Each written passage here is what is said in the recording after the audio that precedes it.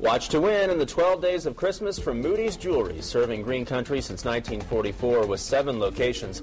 Today's winner unwraps a sterling silver and 14 karat yellow gold oval amethyst pendant worth $199. Earlier, Julie had this. What actor plays everyone's favorite boss, even though he doesn't really know how to run an office? The answer Steve Carell. Shirley Rice from Park Hill was our ninth caller with the correct answer.